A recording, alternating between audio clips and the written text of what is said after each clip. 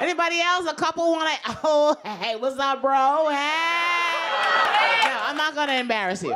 What's what's something, sweetheart, queen, my queen? What is something about you that bothers you about him that is only a big deal to you, but not a big deal overall? Um, You ready? what are you in pageants? You couldn't wait. Okay.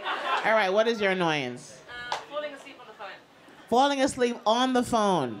You mean so you're on the cell phone together in different locations, and you're in bed late at night, and you're trying to stay up, and he falls asleep? You, you bitch. You don't deserve him. How dare you? Had this Princess Diaries fucking life. And you're like, it's 4 a.m. and I'm telling him I love him, and he's just falling asleep. So annoying. You ungrateful. I hope you I hope you die alone, okay? Oh my god.